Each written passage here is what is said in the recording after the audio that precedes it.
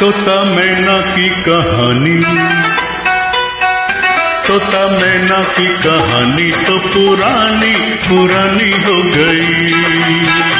तोता मैना की कहानी तो पुरानी पुरानी हो गई। अब है सबके लबों पर ये ताज़ा खबर लड़की